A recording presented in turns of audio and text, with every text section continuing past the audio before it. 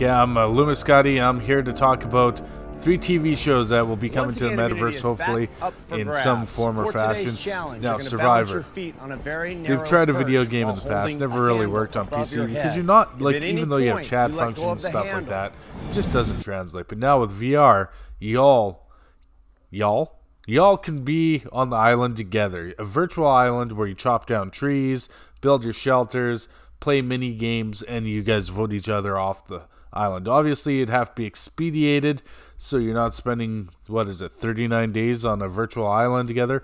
But it could still happen. You could dress up your little avatars in bikinis, uh, short men shorts, or whatever you, or go run around naked, whatever. You're a robot.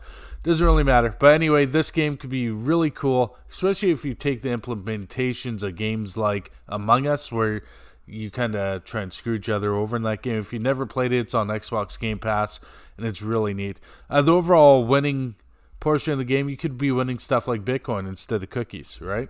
And uh, anybody will run towards that. So, just a thought Survivor VR would be very cool. And uh, man, I got the COVID. It sucks. My wife gave me the vid, and it's just not good.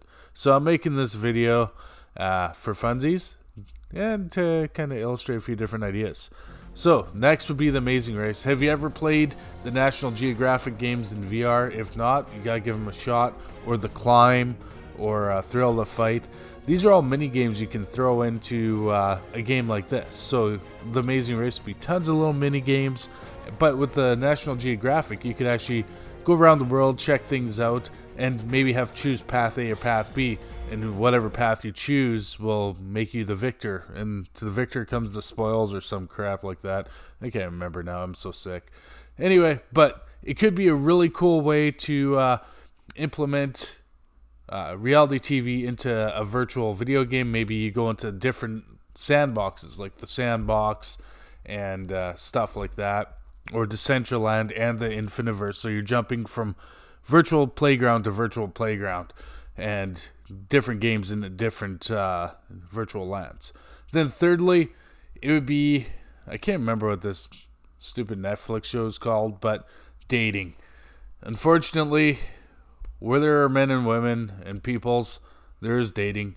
And I think this will be a reality is but you can do it in secret. You can dress up like robots instead of monsters and you guys can all date each other and stuff like that. And It's going to be a lot of fun. But obviously dating in the multiverse is going to be a thing. So there's a million dollar idea if you want to get into the first multiverse dating thing. Uh, it's a reality like The Bachelor. You could do something like that, right? But in VR, like, hey, look at how cool your avatar is. Geez, she really love him, although he looks like a rusted up robot and all that crap. So, uh, yeah, maybe try that. And uh, I think I was really stretching on the third one, I'm trying to find at least three. But uh, I don't know. The Bachelor could work. Uh, this little sexy beast thing could work. Um, there's lots of options, but I think Survivor, The Amazing Race, games like that, and Screw Big Brother. I don't like Big Brother, so I didn't bother throwing it in here. So there's that. Anyway, so I'm sick. Talk to you later. Bye.